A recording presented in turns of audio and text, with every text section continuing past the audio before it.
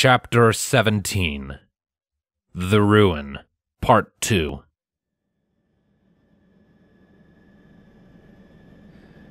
Are you done yet?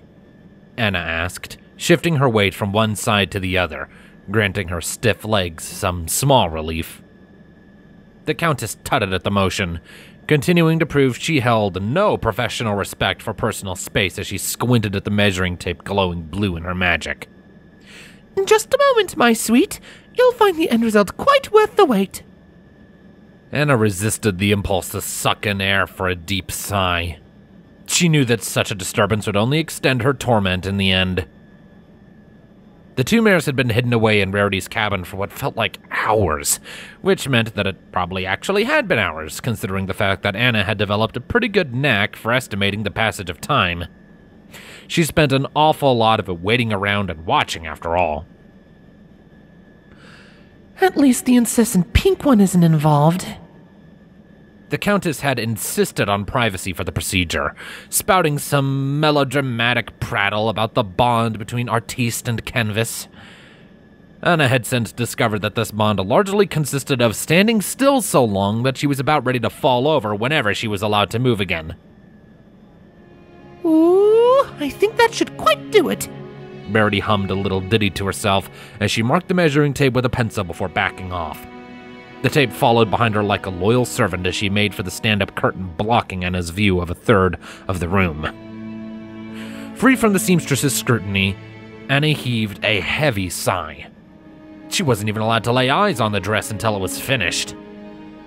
She didn't have much tailoring experience beyond patching up the occasional damage to barding, but she was pretty sure that the final alterations would move along far faster if she was actually wearing whatever it was the Countess was trying to hide from her.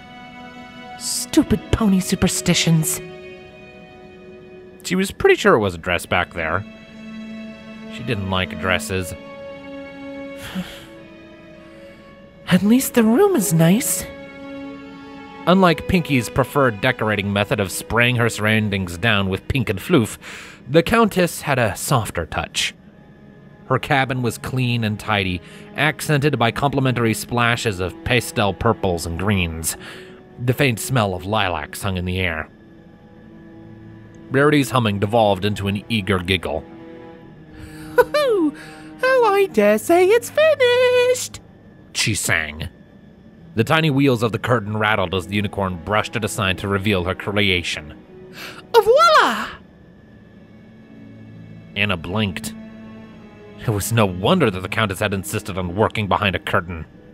The mess of fabric scraps around her gave the impression of a careless fool that had torn up a cloudy night sky, shredded a foamy sea, and finally cracked open a morning sun before tossing it all together on the floor. Don't look at the mess, darling. Rarity whined. Look at the dress. Oh, right. Anna tore her gaze away from the hurricane of color, focusing instead on the clean lines of the dressed ponykin they surrounded. Her attention was immediately drawn to the polished, moonstone cabochon secured to the model's neck. The gem was nestled in a flower shaped splash of glimmering silver.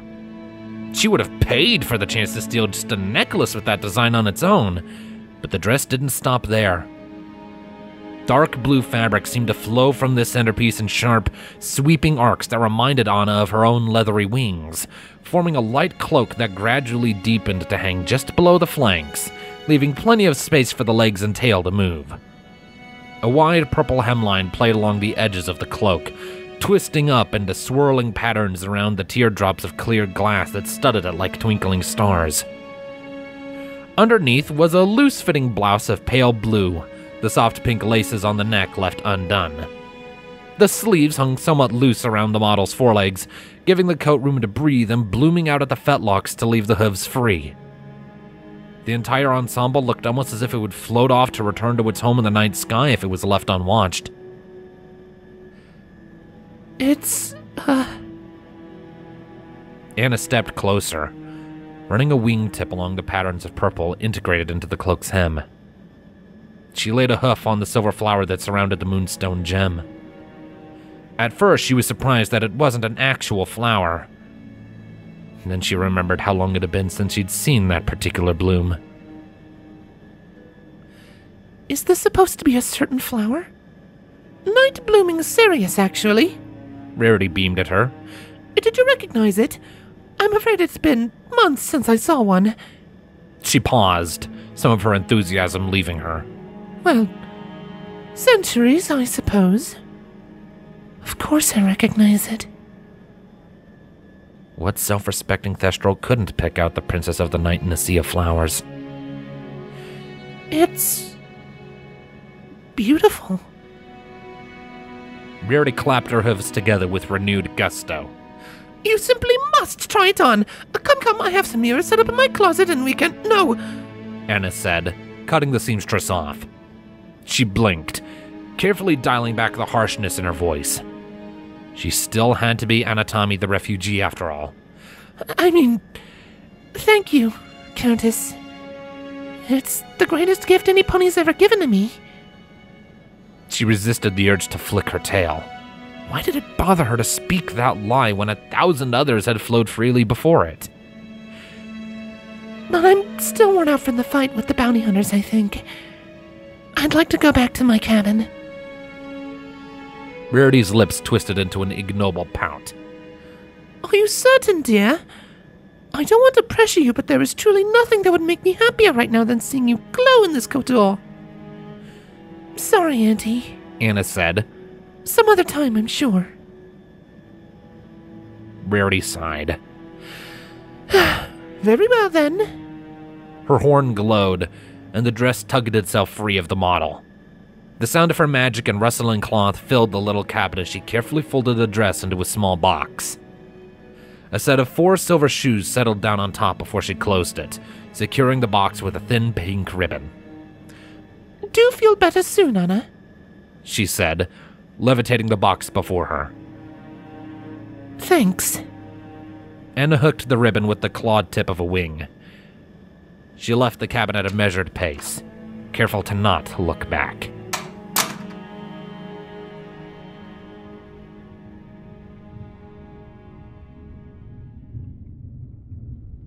Sea Saber's voice buzzed into Twilight's ear.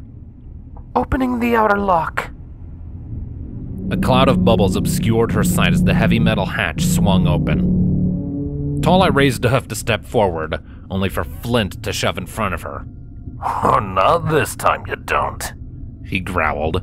I go first. Oh, right. Twilight moved back. Sorry.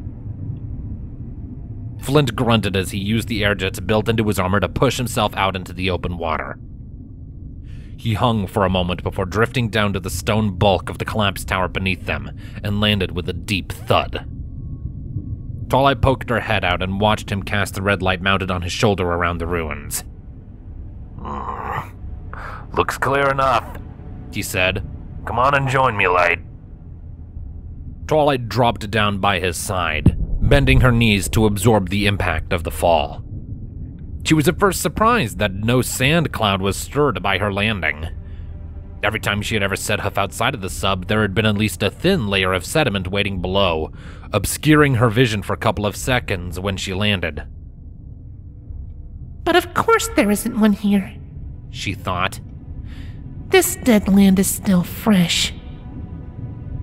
Twilight clicked her radio on. We're out. We'll make our way towards the other end of the skydock and search for. She paused, licking her dry lips. The search for clues. Acknowledged, Saber replied. We'll be scanning from above for any trouble. Torpedoes are at the ready for fire support if necessary. Applejack's uncertainty was easy to hear, even with the distortion from the radio. For a certain meaning of ready, I reckon. You'll be fine, Cowphilly, Flint said. Just press the right fire button when old Saber tells you. I'll be sure to kill anything down here before you have to reload, just to make it easy on you. Uh, thanks. I guess. Tala took a moment to adjust to the strange sense of reduced weight, no doubt due to the island's continual sinking. She led the way along the top of the fallen tower as the submarine floated above them. Its shadow passed over the divers, making it difficult to walk without stumbling over the scattered chunks of stone under hoof. Twilight summoned a small purple orb light to hover above and behind her, illuminating the surrounding rubble with enough clarity for walking. What she had thought to be just more rocks was revealed to be a buried corpse, and she stiffened as her armored hoof crunched through bone. Watch your step there. Flint rumbled as he walked past her. He kept his shoulder light trained on the ground in front of him, taking care to maneuver around the mangled cadavers.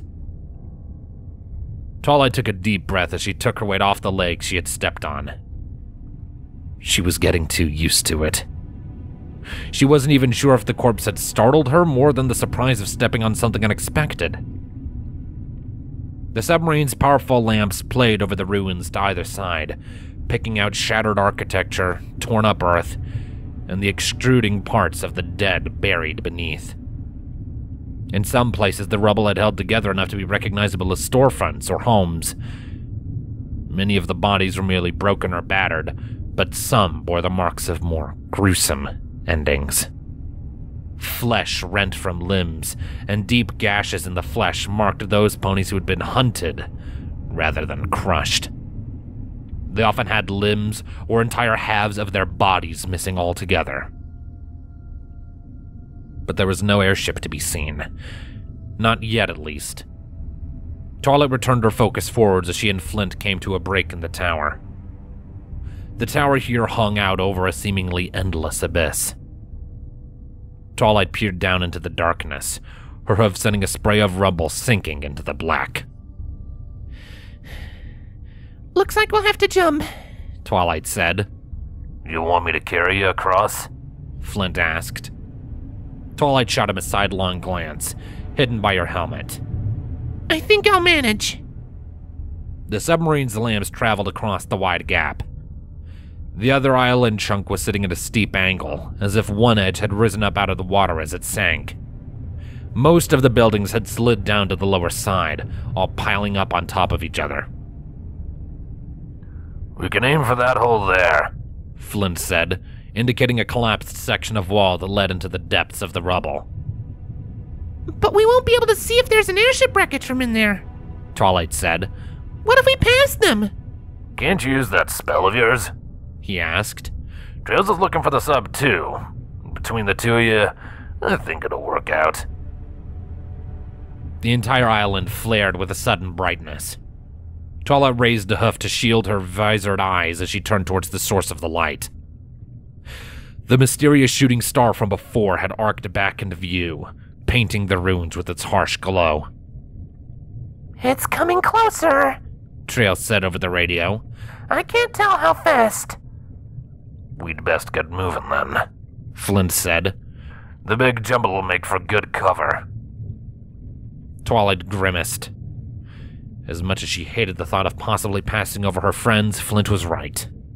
The ping spell wouldn't have any trouble finding the metal hull of a wrecked ship among all the stone and earth of the fallen city.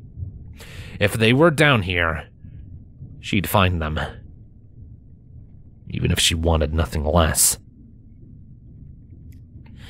Let's go. She said. The two of them jumped together, propelling themselves across the gap with jets of pressurized air. Floating debris acted like tiny clouds to the miniature sun of the unknown creature approaching, casting misshapen shadows over the city. Flint landed fast, absorbing the impact with his hooves and training his guns on the enclosed area as he skidded to a stop. Twilight was more cautious, using her air jets to counter her velocity before landing. She floated her orb light forward into the gaping hole before them. The purple glow drifted silently deeper into the tunnel.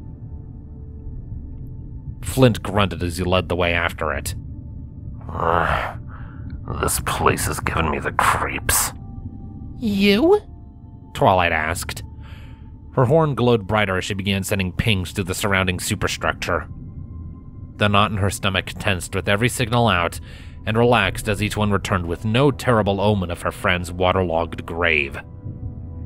Her voice threatened to shake, but she needed something to keep her mind off of what she was doing. That's not like you. Just look at that. Flint gestured towards one side with a hoof. Twilight followed the motion, spotting a pair of bodies sticking out of the wall.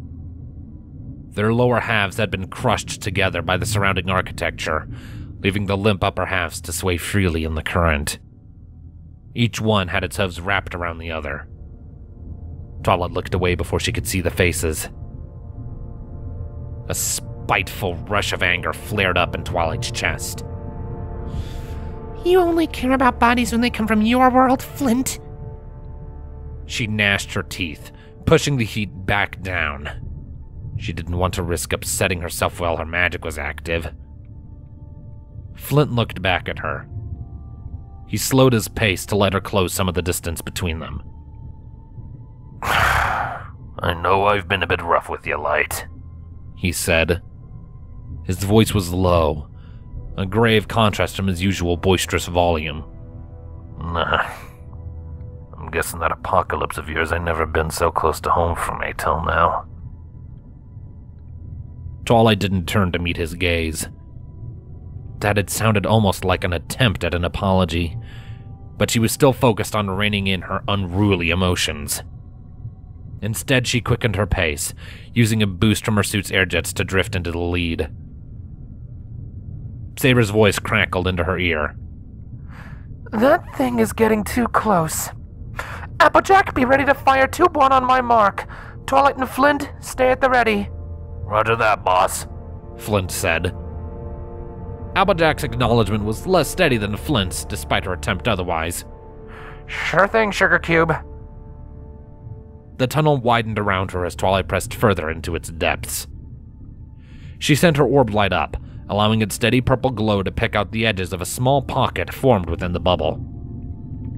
A deep fish corpse was splayed out here, its ragged hide punctured on both sides by a metal pipe. Flint's shoulder light played over a trio of pony bodies piled up against a thick metal beam opposite the deep fish. The larger stallion body was marred with deep cuts and bruises, but the two foals behind him looked almost peaceful in death. That pony's got my respect, he said. Fighting off one of the deep fish before going down. Here's hoping he found some peace at the end. Twilight said nothing. There was still some lingering anger over the sudden appearance of Flint's appreciation for the dead. Her eyes followed the beam behind the bodies up to where it was lodged into the rubble. Some part of her imagined it to be some valiant defender, holding up the weight of an island in honor of the pony who had died defending the helpless. Part of the island is breaking free near you two. Chael's voice said over the radio. Brace yourselves! A deep rumble passed over the island as if on cue. Twilight could feel the shifting motion of the superstructure through her hooves, and found herself instinctively squatting low as small rocks dislodged themselves from above before thunking against her visor. She yelped as a heavy wad of bricks bounced off her armored flank, pushing her to the ground with its impact. Ah, Buck! Flint growled. The whole place is coming down round us. Looking up from the ground, Twilight saw the metal beam shift dangerously, straining against the mass of the city above them. Stay near me, Flint! She said, wrapping the beam in her magic. She didn't know if her shield would hold if the little cave collapsed, but hoped that her telekinesis would be enough to keep the beam in place. The disturbance was over as quickly as it started. Twilight took a deep breath as the water relapsed back into its dead silence, allowing her magic to fade. The beam shifted. Twilight's eyes focused in on the chest sized rock falling for her face just in time for her to let out a strangled. The rock bounced off as if it was made of paper. Twilight blinked, confused by the lack of impact. Twi, you alright? Applejack asked. She's fine, Flint said. We're fine. Just a bit of a scare. I'm fine, AJ. Twilight confirmed. She picked herself off the ground, wrapping the rock in her magic and pulling it closer. It was a soggy cardboard package, neatly gift wrapped in yellow paper with pink ribbon, miraculously still in one piece. Get back to open water. Saber said. The city is still settling into place, and we don't know how much longer it'll be before it hits bottom. Roger that, boss. Twilight formed a small shield around the package, teleporting the water out with a flash of purple. It fell apart like a marathon runner collapsing at the end of a race, revealing the trio of envelopes sealed inside. That star creature is up to something. Trail said. It almost looked like it's tracking you two in there. We should get moving, Light. Flint said. You can fiddle with whatever you got there when we're somewhere safer. Just give me a second. Twilight said, waving his words off with a huff. She recognized these envelopes. Pinkie Pie had been relentless in bugging her for weatherproof envelopes since she had heard about the spell Twilight had placed over her old library. With bated breath, Twilight found one addressed to her and slid open the seal. A spray of confetti popped out, the accompanying party horn muted by the water in her helmet. She pulled out the letter inside, a tentative smile pulling at her lips as she noticed the cupcake tucked beside it, and opened it. Thick, happy pink and blue letters waited inside. You're invited, it read, to Pinkie Pie's Getting the Gang Together party at Alta Lucia this question mark question mark question mark. At the bottom of the letter, a small note had been written in Pinkie's bouncy script. P.S. Don't worry about us, Twilight. I just had a hoof twitch, rumpage, nose flick, and that means everything's gonna be okay.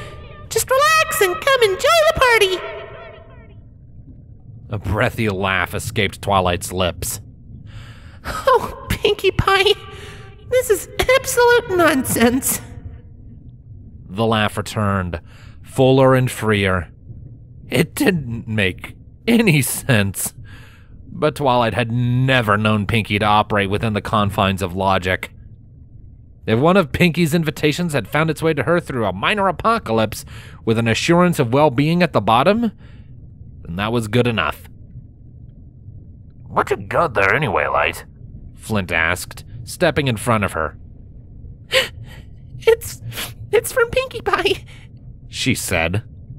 What was she crying for? Her friends were alive. She hadn't failed them too. She says she and Rarity are alright. Oh there, Nellie. Applejack's voice buzzed into her ear. Y'all got a letter from Pinkie? Down there? I'll explain once we're back to the sub. Twilight said. She took a deep breath, wearing a goofy smile inside the privacy of her helmet. But I believe our friends made it out okay. Well, if it's good enough to convince y'all, then it's good enough for me. Applejack said. Mission accomplished then. Saber said. With that hint of relief in her voice. Find some open water and we'll pick you up. Right. Twilight tucked the letter back into its envelope, being careful not to smudge too much of the cupcake frosting. She renewed the weatherproofing spell. She let the shield fizzle, levitating the three letters into a rigid pocket on her dive suit. With the package safely stowed, she once again began sending out arcane pings. Scanning for a way out now. That glowing thing is right on top of you two. Trail said. Watch out! Twilight's pings were coming back to her distorted. Her pulse quickened as she sensed the way they seemed to wrap around an invisible line through space, curling tighter and tighter. A shrill, warbling cry echoed through the ocean as the distortion seemed to thicken around Flint. Get back! Twilight reached out with her magic, throwing Flint to the side as a beam of brilliant white light blasted into the cavern where he had stood. A billowing cloud of bubbles rushed over them, and Twilight could feel her coat heating even through the thick shell of her armor. She cried out as she was thrown back by the wave of boiling water, tumbling backwards until she collided with a low hanging protrusion of bricks. Applejack, fire! Saber shouted. Twilight shook the stars from her vision as she rolled back onto her hooves. Oh, hey, tip one off! Applejack replied. Twilight began to send out the pings again, gauging the telltale distortion of the feedback for signs of the attacker. Flint was back on his hooves already, charging for the clear circular hole that had been burned through the rubble wall. He was still glowing red with heat. Think you're gonna take me out without a fight, do ya? He growled. Come and get it then! The deep thud of his repeater bounced around the cavern as he fired out into the open ocean. It's not working! Trails said.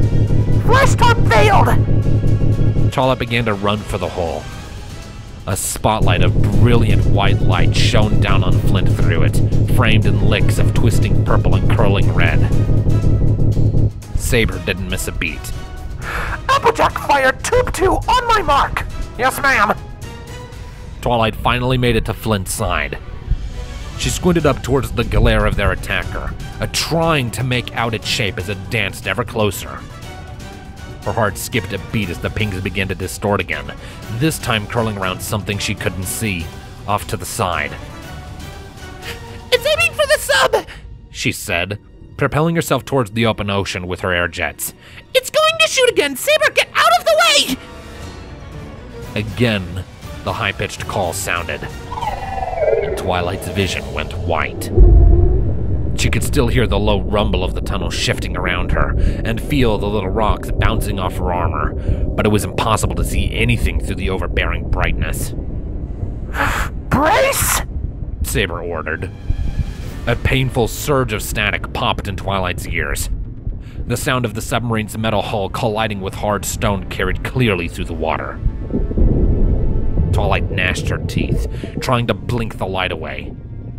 The afterimage of a ragged bird, framed by a circle of molten stone, had burned itself into her retinas. She didn't even know where she was anymore. She filled out with her hooves, searching for something solid. Damage report! Saber barked. Spalling! Trails hissed. I'm bleeding, but I'm good! One of these racks broke back here. Applejack said. Everything's all over the place. I don't know what's what. Twilight's eyes recovered enough for her to see. She had floated nearly all the way through the melted tunnel. She reached out, grabbing onto the lip and pulling her head out into open ocean. Still blinking away the bird after image, she picked out the submarine's dark shape lodged in a crack running through a chunk of island. The swimming star from before floated before it, its glow having diminished enough for her to make out a pair of wings splayed out in the center. Her pings were distorting again, sending around the submarine. The monster was going to shoot again, and this time there would be no chance of evasion. The sinister fury flared in Twilight's breast, her magic pooling unbidden in the tip of her horn. End that troublesome beast! Flint's voice rumbled over the radio. What are you doing over there, you shiny moron? His repeaters thump thump thumped to Twilight's side, and she turned to see him floating a short distance off in the ruins, firing both guns at the monster's back.